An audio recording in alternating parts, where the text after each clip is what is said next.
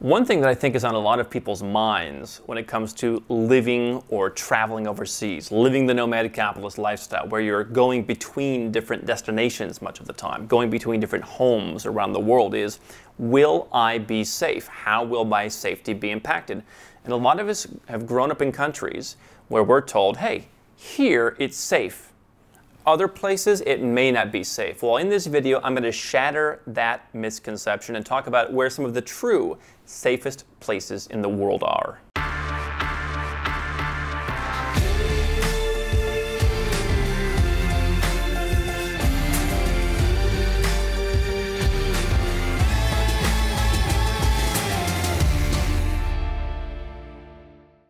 Hey guys, I'm Andrew Henderson. If you want to learn more about how Nomad Capitalist helps seven and eight figure entrepreneurs and investors legally go offshore, reduce their taxes, get second passports, go where they're treated best, learn more at nomadcapitalist.com.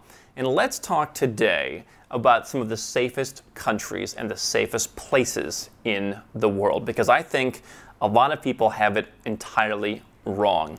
You know, one thing that we've done here on my team is we're constantly looking for new data points. We do a lot of research, we do a lot of uh, analysis on different things. And so when we go out and look at a lot of these studies or the indices of you know, most peaceful countries, happiest countries, safest countries, the one thing that we find, and I've talked about this once or twice before, is they're almost entirely Western centric.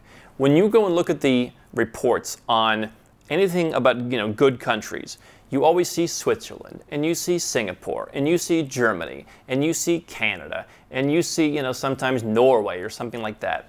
And, you know, I look at these lists. I've been to a lot of countries around the world. I've lived in places that most people couldn't find on a map. And I try and go to places that are off the radar because I think there's a lot more opportunity there. And so a lot of people would think, you know, Andrew, you're going to be killed one of these days. In all my years of doing this, 13 years of extensive traveling, I've had one time where a gun's been put in my face. I can't remember a time when I've had anything stolen. I can remember a time when stuff that I had in the US was stolen, not once, but multiple times. And so when I see people just repeat the same countries over and over again, these are the best countries for expats, these are the best countries for your family to be safe, I say to myself, these people have never been anywhere. So I found an index called the Numbeo Crime, uh, International Crime Index and we went through some of the numbers. And what we found might surprise you, and I'll add my commentary as we go. Now, a score under 20 was considered very low, as in very safe. A score under 40 was considered safe. And then above that, it became moderate and all the way up to insanely unsafe. Some of the safest cities in the world indeed are Quebec City, uh, Zurich, Bern in Switzerland, Irvine, California, right? Suburban Orange County in uh, the Los Angeles area.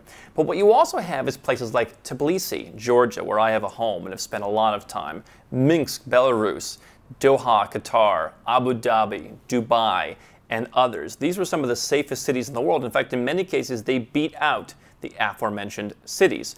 Taipei, Taiwan uh, was another city on the list.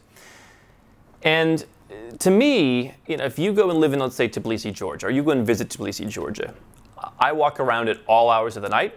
You know, people go out, they go to these Georgian Supras, they'll have two liters of wine, they'll be falling all over themselves, they'll be walking home. Uh, I've had people who've come and met me who've done that. They go out clubbing after the dinner, and you hear from them at four in the morning, and I just got home safely. No one worries about it there. Uh, nobody's too concerned about it. You know, you walk around, whether you're uh, you know a six foot four guy like myself, or whether uh, you're a smaller uh, woman, uh, whether you're a child. Everyone's out at all hours of the day, and that says something to me. Um, part of it's the culture. You know, I've talked to people who say, I want a place where I can let my kids just go, and I open the back door and they go and run around. Places like Georgia, you can do that. A lot of places around the world, you can do that. You can buy a home just a little bit outside of town, and that's how people live. They don't lock their doors. Kids all play around. No one's being, you know, monitored the way that some of this, uh, these parents now in the Western world are doing, where you have to be afraid of everything.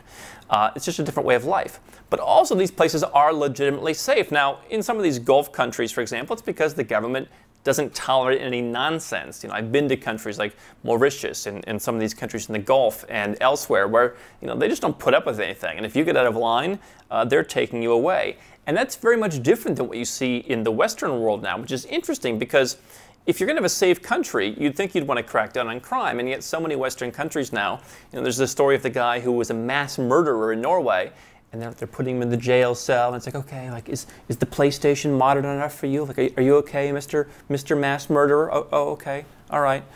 Like, I don't know how that really prevents crime, but those are some of the safest places on the list. Now, let's talk about some of the most dangerous places on the list. South Africa, many South African cities are on there, Venezuelan cities, uh, Brazil. Also, Memphis and uh, Baltimore, Maryland. Okay? Now, what are people going to say? Well, I live in Baltimore, but I live in the, the Tony suburbs of Baltimore where there's no problems. Well, I would say the same thing about some of the other places on this list that are unsafe, like Mexico City does have relatively high crime scores. I just spent two months in Mexico City. I've been to Mexico City many times. And by following you know, basic precautions, um, I don't use public transit, for example. You can, but I don't. Uh, you know, you keep your wallet in your front pocket. You don't look like a total buffoon.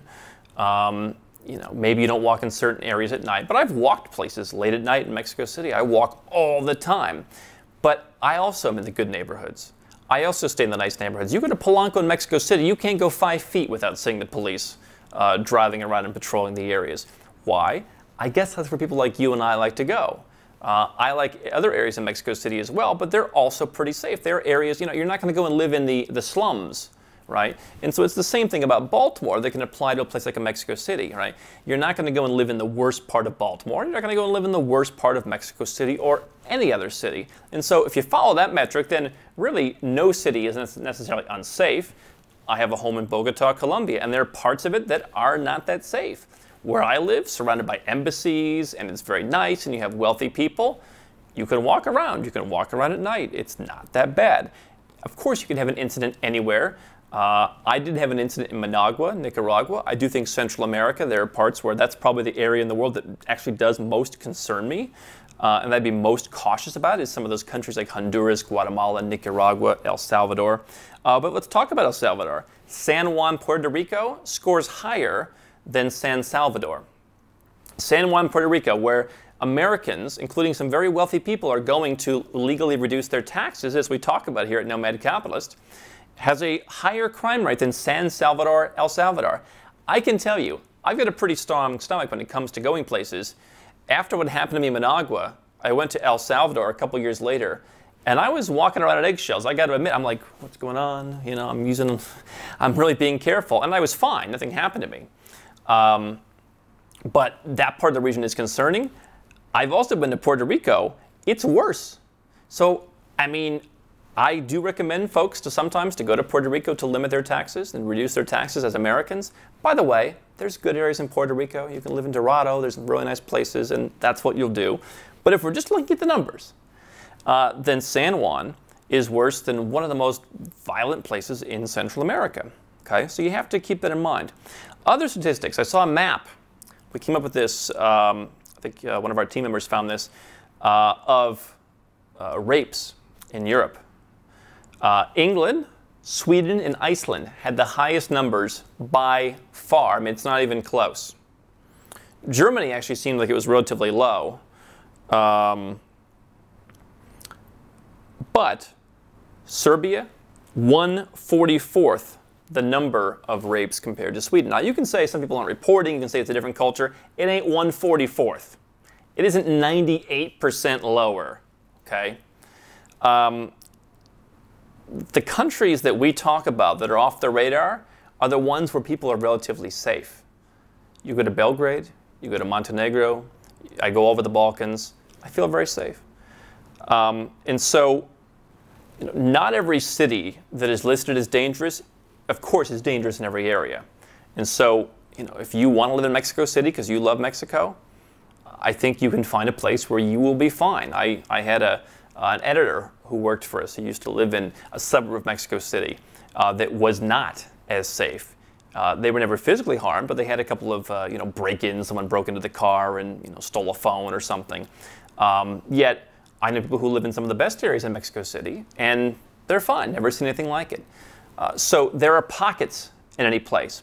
That's the first thing to keep in mind. Uh, there are safe pockets no matter where you want to live. But there are also cities in places that most people haven't heard of that are some of the safest places in the world, where crime isn't tolerated, And I think we're honestly, in some of these cultures, the people, uh, they're just living more harmoniously than where I come from in the United States. Uh, I can honestly say that. Uh, and so, if you're looking for the safest places in the world, they're probably not the places that you think.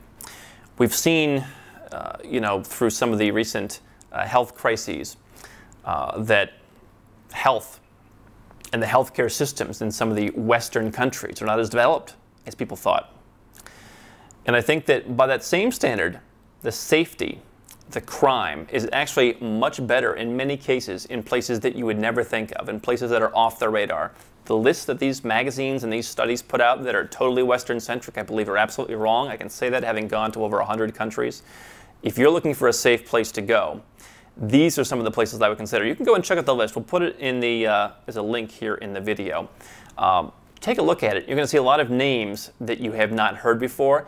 Those are some of the places that I think offer a lot of opportunities for not only lower taxes, not only lower cost of living, better quality of life, better investment opportunity, but also a safer place to be.